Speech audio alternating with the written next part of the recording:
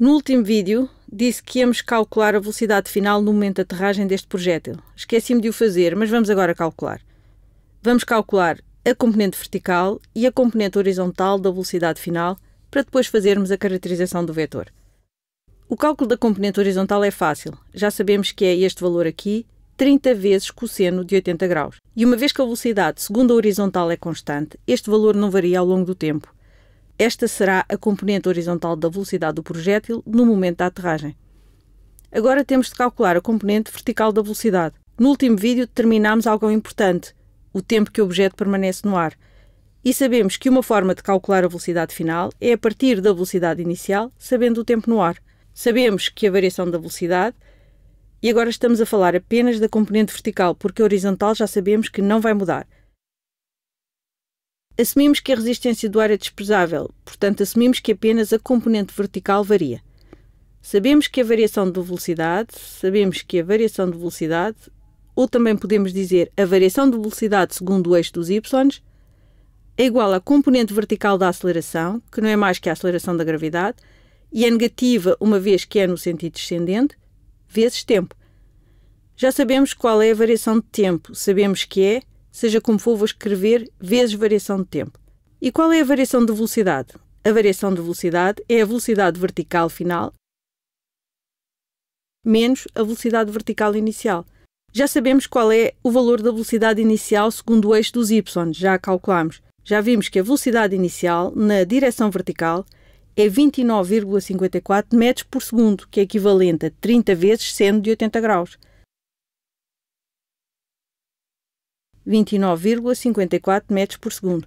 Então isto será menos 29,54 metros por segundo é igual à aceleração, que é negativa porque é no sentido descendente. Então menos 9,8 metros por segundo quadrado. E o tempo no ar é 5,67 segundos, vezes 5,67 segundos.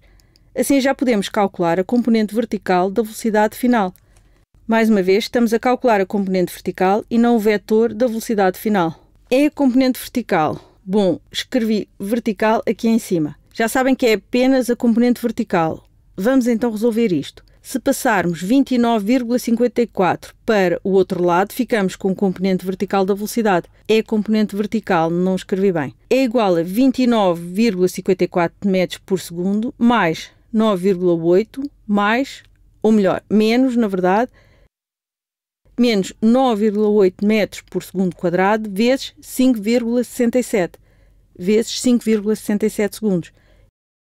Este segundo corta com um destes segundos, fica tudo metros por segundo. Vou usar a calculadora outra vez, vamos calcular.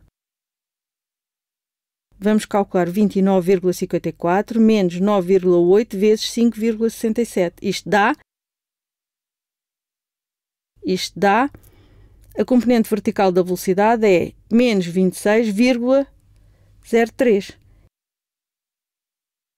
Isto dá menos 26,03 metros por segundo. Podem perguntar-me o que significa isto, menos 26,03 metros por segundo.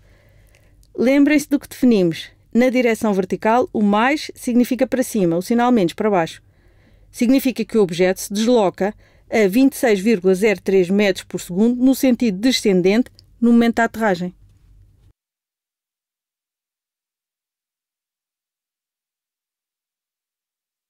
E qual é a velocidade final quando o projétil aterra? A componente vertical da velocidade é menos 26,03 metros por segundo no sentido descendente. E a componente horizontal da velocidade, como sabemos, não varia ao longo do tempo, já a tínhamos calculado era 30 vezes cosseno de 80 graus, isto é, 30 cosseno de 80 graus. Vou usar a calculadora. 30 cosseno de 80 graus, que é igual a 5,21. Isto é 5,21 metros por segundo. Ambas as velocidades estão em metros por segundo. Qual é o vetor da velocidade total? Posso ligar a extremidade de um vetor à cauda do outro. Para isso, transfiro este para aqui para que o início fique no extremo do vetor verde. Fica assim. O comprimento deste, o módulo da componente vertical, é 26,03. Agora podemos usar o teorema de Pitágoras para calcular o módulo da velocidade final no momento do impacto. Para calcularmos o vetor disto, podemos usar o teorema de Pitágoras. O módulo da velocidade final, este vetor aqui,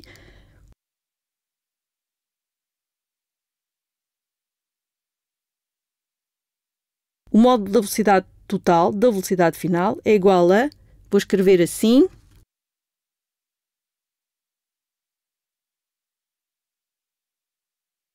o módulo da velocidade final é igual à raiz quadrada de 5,21 ao quadrado mais 26,03 ao quadrado. 26,03 ao quadrado. Isto dá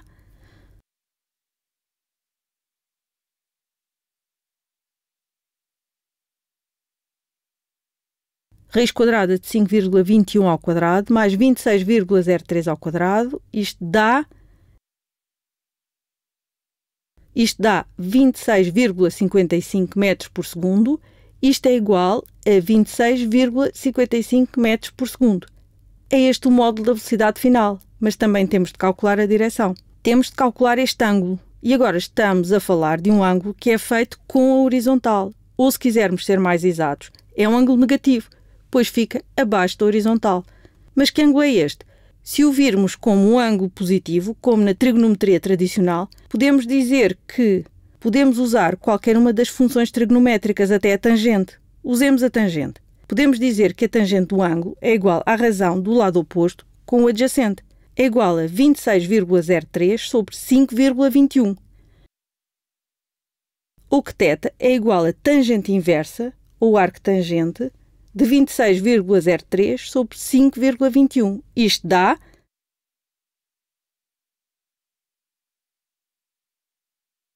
calculamos a tangente inversa de 26,03 a dividir por 5,21.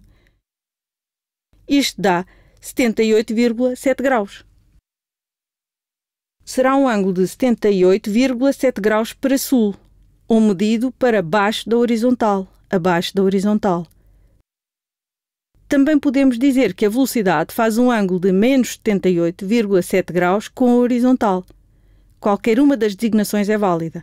O que interessa é que caracterizamos o vetor velocidade através do seu módulo, direção e sentido. O seu módulo é 26,55 metros por segundo e faz um ângulo de menos 78,7 graus com a horizontal ou para baixo da horizontal.